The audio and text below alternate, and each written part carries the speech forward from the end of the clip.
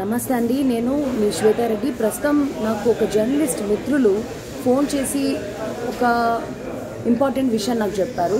ఒంగోలుకు సంబంధించి Prakasam super speciality hospital. Prakasam super speciality హాస్పిటల్లో ఒక చనిపోయిన మహిళని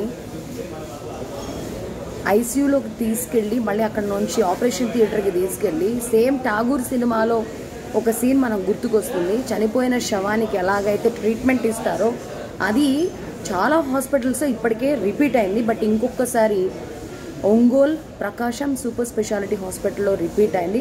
చనిపోయిన ఒక మహిళకు చికిత్స అందించారు the great doctor Kishore Reddy. Kishore రెడ్డికి ఇది మొదటిసారి కాదు ఇప్పటికే చాలామంది ప్రాణాలతో అలా చెలగాటమాడారు.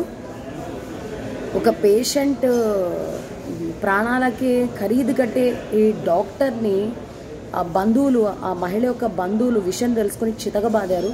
వాళ్ళకి ఏదో పన్నెండు లక్షలు ఇచ్చి దాన్ని సెటిల్ చేశారని చెప్పేసి ఇప్పుడే వార్త వచ్చింది one of my journalist friends has told me and requested me to tell this news in the social media and also to promote this news in social media దయచేసి ఒంగోలు ప్రజలారా ఒకే విషయం గుర్తుపెట్టుకోండి. ప్రకాశం సూపర్ స్పెషాలిటీ హాస్పిటల్లో అడుగు పెట్టాలంటే ఒకటికి వంద సార్లు ఆలోచించండి.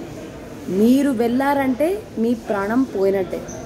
దయచేసి ఒంగోలు ప్రజల తస్మాత్ జాగ్రత్త.